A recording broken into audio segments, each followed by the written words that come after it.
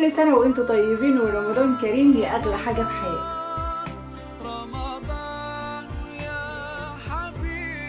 بالكوب ده إن شاء الله هنحرق وهنفتت الدهون الموجودة في منطقة البطن وكمان هتخسي يعني هتخسي طول شهر رمضان هنشرب الكوب ده.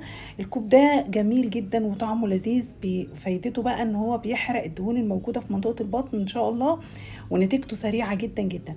هنعمل مع بعض المشروب ده وتأكدي إن هو مجرب ونتيجته فعالة. ده غير إن لو عندك دهون في منطقة البطن بتنزل بسرعة وكمان الناس اللي وزنها زايد إن شاء الله كمان بينزل الوزن بسرعة ولو انت بقى في شهر رمضان استخدمتيه على طول مش هتحسي بجوع مش هتحسي بعطش كمان بيسد الشهية بيخليكي ما فيش قابلية للأكل. وهنعمل المشروب دلوقتي مع بعض يلا بينا ونشوف إيه مكوناته.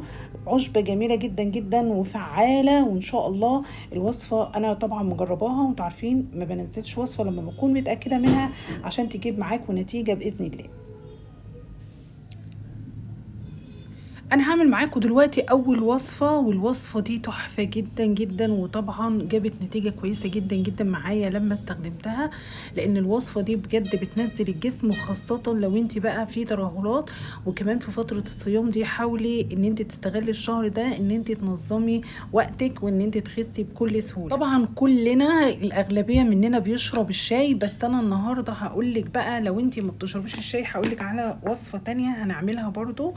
آه هناخد الكوب بتاعنا كده الوصفة دي بتحرق الدهون وكمان الترهلات اللي بتبقى موجودة في الجسم. هناخد معلقة واحدة من الشاي وطبعا يفضل إن أنت تقليه شوية وما ينفعش إن إحنا نضيف سكر للوصفة بتاعتنا دي لأن السكر طبعا زي ما إحنا عارفين بيعمل دهون وكمان بيزود الجسم. فلو أنت حابة تحليها حليها بالعسل بس أنا ما بحبش أعمل أي وصفة وأضيف عليها سكر الصراحة تمام؟ معايا هنا زي ما قلنا كوباية من معلقة من الشاي وهبدأ أضيف عليها مكون موجود عندنا كلنا في البيت برضو. بصوا. انت بتستخدميه في الشوربة آه فده إحنا هنستخدمه النهارده لحرق وتفتيت الدهون. بصوا ده الحبهان. طبعا كلنا عارفين إيه الحبهان. كل أنا هحتاجه حباية واحدة من الحبهان. أهو. بس هبدأ أفتحها كده. بالشكل ده اهو.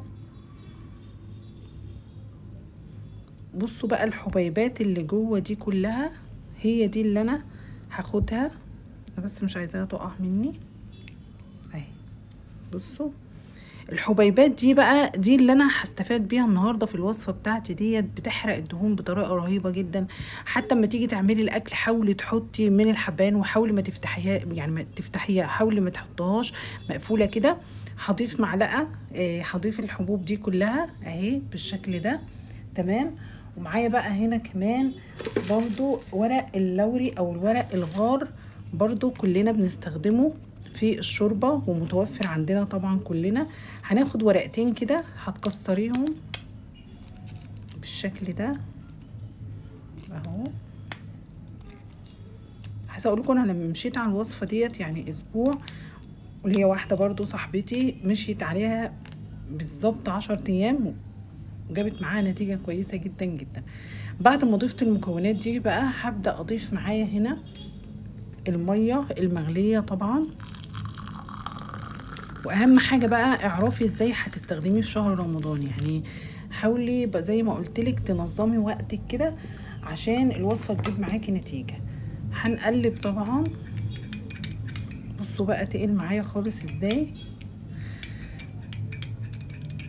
طبعا مش هنشربه وهو آه أول ما نقلب كده لا لازم تسيبيه علشان يخرج شوية آه وهنغطيه. وهنسيبه يعني ممكن تسيبيه ربع ساعة أو عشر دقايق مش لازم تشربيه سخن بس أهم حاجة لازم تسيبيه علشان الوصفة معانا تجيب نتيجة تمام؟ هنشربه إمتى بقى؟ هنشربه إن شاء الله بعد ما ت... يعني بعد ما تفطري اشربي على طول الوصفة بتاعتنا دي وبعد السحور برضو اشربيها. لو عرفتي تشربي في, في نص الوقت برضو ما بين السحور والفطار اشربيها كمان مرة. بجد هتشوفي بقى يعني حرق ونسف للدهون إن شاء الله من الوصفة بتاعتنا دي وبتجيب نتيجة تحفة جدا جدا بإذن الله. دي كانت أول وصفة معانا. آه عايزاكي بس تمشي عليها وقولي لي رأيك في الكومنتات لأن الوصفة دي مجربة والناس يعني مقربين ليا قوي قوي برضو عملوها زي ما أنا عملتها وجابت نتيجة معاهم. هعمل دلوقتي بقى معاكم وصفة تانية. الوصفة تانية دي برضو حلوة جدا جدا. لو حبيتي تعمليها برضو اعملي مرة كده ومرة كده هتجيب معاكي نتيجة. يعني ممكن تغيري الطعم يوم تعملي دي ويوم تعملي التانية. الوصفة التانية بقى يا بنات معايا هنا الكوب برضو بتاعي دوت والوصفة التانية دي برضو زي ما قلت لكم طعمها لذيذ جدا ومكوناتها برضو متوفرة عندنا في البيت. هبدأ أضيف معايا هنا نص معلقة كبيرة من القرفة أو الدرسين زي ما بنسميها في أي دولة. معايا هنا برضو زي ما أنتم شايفين كده معايا ليمونة. أنا هاخد بس نص الليمونة ديت وأعصرها.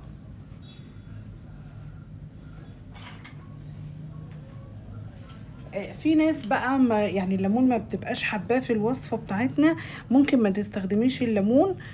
آه بس الليمون برضو يعني مفيد جدا جدا جدا للوصفة بتاعتنا دي. تمام؟ هبدأ أعصر بقى كده نص ليمونة بالشكل ده. أهو. وهنضيف المية. وبالنسبة للتحلية ممكن تحليها بعسل النحل. بلاش نحلي خالص بالسكر يا بنات. أي وصفة نعملها بلاش نحليها بالسكر. تمام؟ أنا هخلص الوصفة دي معاكم بسرعة عشان هقولك برضو الناس اللي عندها أجناب آه اللي عندها آه يعني دهون في منطقة الجنب في البطن البطن مترهلة هقولك على كريم حلو جدا جدا. أنا جربته وبجد بيحرق الدهون اللي في البطن وكمان بيشيل الزنود ونتيجته كويسة جدا. ده بقى المشروب التاني ممكن نعمل ده يوم وده يوم. أو لو انتي مش حابة طعم القرفة بالليمون ممكن تعملي ده. يعني المهم إن المشروبين دول بجد يعني طعمهم جميل جدا جدا. وأنا شخصيا جربتهم ولو انت حابة تعملي الشاي اعملي زي ما قلنا بالطريقة ديت هيجيب معاكي نتيجة. هنعمل دلوقتي بقى الكريم والكريم ده لنسف منطقة البطن اللي بيبقى فيها دهون وترهلات. يلا بينا هنعملها مع بعض. دلوقتي أنا معايا هنا الطبق ده. بصوا ده اسمه الشوفان. الشوفان وده بيكون شكله أهو. ده شكله أهو لو حد مش عارفه. كل اللي أنا هحتاجه معلقة من الشوفان ده. ليه بقى؟ عشان الشوفان ده مفيد قوي قوي للمنطقة اللي بيبقى فيها دهون وترهلات.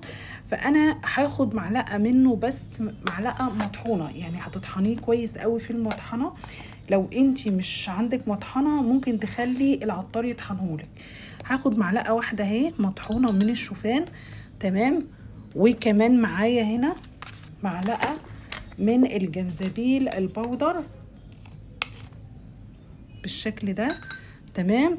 هضيف بقى عليهم هنا الكريم ده زي ما قلنا للمنطقة اللي فيها دهون وترهلات. هضيف برضو معلقة من زيت الزيتون. تمام. طبعا حسب قوام الوصفة لو احتجت هضيف تاني. أكيد هحتاج لأن المعلقة دي صغيرة. هنقلب برضو اهو. بصوا أنا عايزاه سايل كده مش عايزاه يكون مات متماسك قوي بالشكل ده اهو. إزاي بقى هستخدمه؟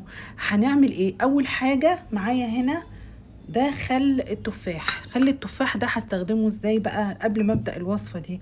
هناخد من خل التفاح مثلا معلقة كده اهو وهضيفها في الطبق بتاعي كده شوية. تمام؟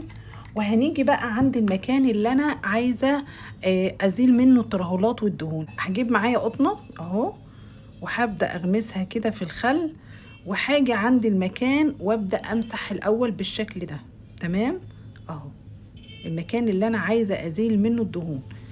وبعد كده هكون محضرة الزيت أو الكريم بتاعي اللي أنا ضفت عليه زيت الزيتون ده وهبدأ آخد منه بقى وادهن منطقة البطن بالشكل ده أو الزنود أو الأجناب وأفرد الكريم كده أهو وهنسيبه لمدة ساعتين. بس يفضل إن إحنا ندهنه ونلفه بالبلاستيك. يعني ما تسيبيش المكان عريان كده لفيه بالبلاستيك وإن شاء الله أسبوع واحد وهتشوفي بقى. ما فيش لا ترهلات ولا في دهون ولا في أجناب والوصفتين يعني الوصفة دي تحفة جدا جدا جدا. بس اعملي الخل زي ما قلت لك الأول. يا رب تستفادوا بالفيديو بتاعنا النهارده. الوصفة سهلة وجميلة وإن شاء الله نتيجتها حلوة. وزي ما قلت لكم بنجرب الوصفات قبل ما أديها لكم عشان تكونوا متأكدين إنها بتجيب نتيجة بإذن الله. ما تنسوش حبايبي تشجعوني بال like واشتركوا معايا في القناة وإن شاء الله أشوفكم في فيديو جديد. bye bye.